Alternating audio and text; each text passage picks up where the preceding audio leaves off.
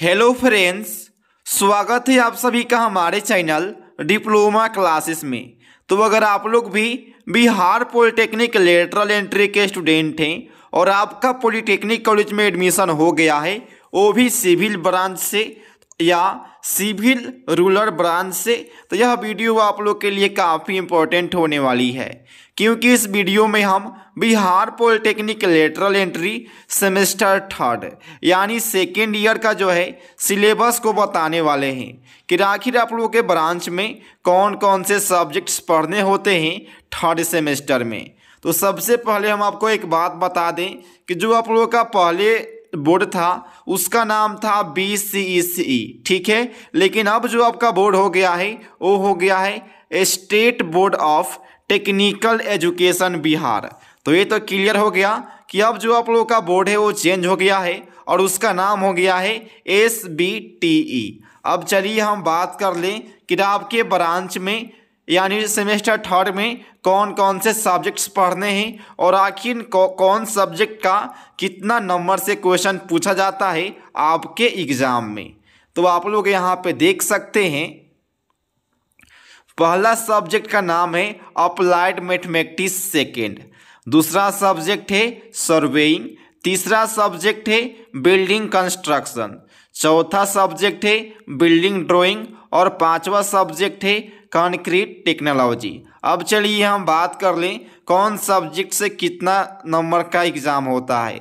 तो सभी से सौ सौ नंबर का एग्ज़ाम होता है, यानी जो है टोटली पाँच सौ नंबर का एग्ज़ाम होता है, जिसमें से आपको साढ़े तीन सौ नंबर का जो एग्ज़ाम होता है ये एक्सटर्नल होता है। यानी दूसरे सेंटर पर आपको जा कर के एग्ज़ाम देने होते हैं। वहीं हम बात कर लें ये जो बीस बीस नंबर है तो ये होता है क्लास टेस्ट। यानी आप लोग इसको इंटरनल एग्ज़ाम भी बोल सकते हैं।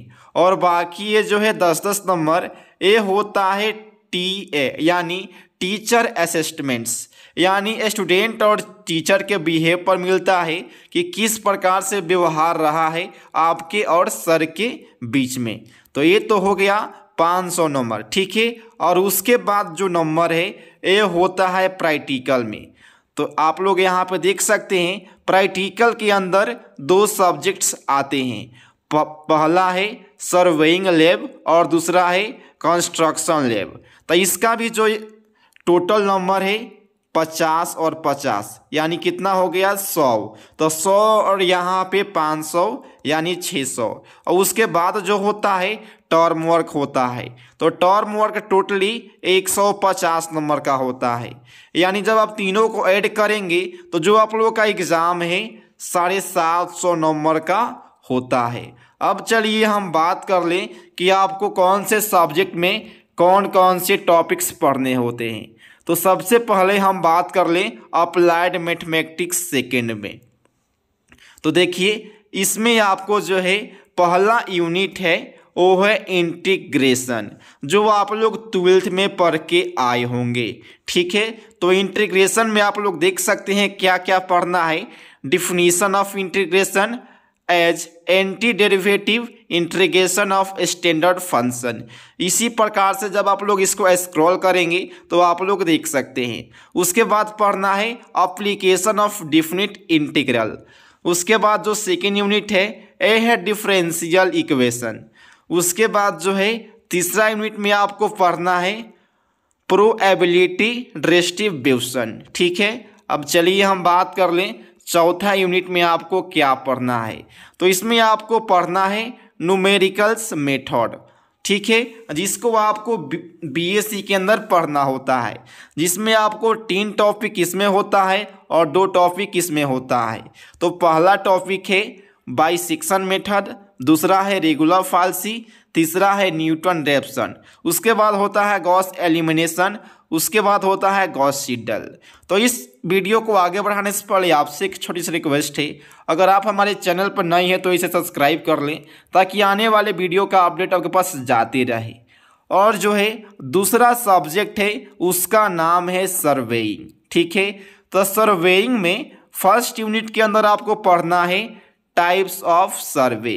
दूसरे यूनिट के अंदर पढ़ना है chain and cross staff survey तीसरा यूनिट में पढ़ना है आपको कॉम्पास सर्वे जैसे कि आप लोग यहाँ पे देख सकते हैं। अब चलिए हम बात कर लें, चौथा यूनिट में आपको क्या क्या पढ़ना है। तो आप लोग अपने स्क्रीन पर देख सकते हैं लेबलिंग उसके बाद जो है कंट्रोलिंग उसके बाद आपको पढ़ना है एरिया एंड वॉल्यूम मेज़रमेंट तो ये तो आपका दूसरा सब्जेक्ट क्लियर हो गया। अब आता है तीसरा सब्जेक्ट। इसका नाम है बिल्डिंग कंस्ट्रक्शन, जैसे कि आप लोग यहाँ पे देख सकते हैं। तो इसके अंदर फ़र्स्ट आपका यूनिट आता है बिल्डिंग कंपोनेंट्स एंड मटेरियल। और उसके अंदर आपको कुछ छोटे छोटे टॉपिक्स पढ़ने होंगे, जैसे कि आप लोग यहाँ पे देख सकते हैं, यहाँ पे देख सकते हैं और यहाँ पे देख सकते हैं। दूसरी यूनिट के अंदर में आपको पढ़ना है कंस्ट्रक्शन ऑफ़ स्ट्रक्चर ठीक है? उसके बाद जो आप लोग का तीसरा यूनिट है, इसमें पढ़ना है कंस्ट्रक्शन ऑफ़ सुपर स्ट्रक्चर ठीक है? चौथा जो यूनिट है, इसमें आपको पढ़ना है बिल्डिंग फिनिश फिनिशेस ठीक है? उसके बाद जो आप लोगों का अंतिम यूनिट है, इसमें पढ़ना है बिल्डिंग मेंटेनेंस, यानी बिल्डिंग को आप लोग किस प्रकार से मेंटेनेंस कर सकते हैं। उसके बाद जो है, आपका चौथा सब्जेक्ट है, इसका नाम है बिल्डिंग ड्राइंग, ठीक है? तो इसके अंदर आप लोग देख सकते हैं first unit, second unit, third unit, fourth unit, यानी इसमें आपको फोर ही यूनिट को पढ़ना है। अब चलिए हम बात कर ले जो आप लोग का अंतिम चैप्टर है। सॉरी, आप लोग का जो सब्जेक्ट है कॉन्क्रीट टेक्नोलॉजी तो इसके अंदर भी आपको छः यूनिट से पढ़ाई करना है।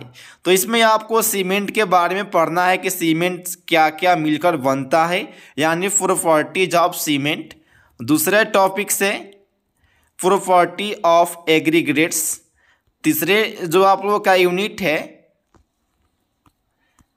इसका नाम है प्रॉपर्टी ऑफ़ कॉन्क्रीट उसके बाद आप लोग को पढ़ना है, चौथा यूनिट में क्वालिटी कंट्रोल ऑफ़ कंक्रीट। इसके बाद जो आप लोगों का पांचवा यूनिट है, एक्सट्रीम वेदर। ठीक है, और जो आप लोगों का अंतिम यूनिट है, इसमें आपको पढ़ना है प्रॉपर्टी ऑफ़ स्पेशल कंक्रीट। तो बस यही सिलेबस था सिविल इंजीनियरिंग का। तो अगर आप लोग इस सिलेबस को लेना चाहते हैं तो आप लोग हमारे नंबर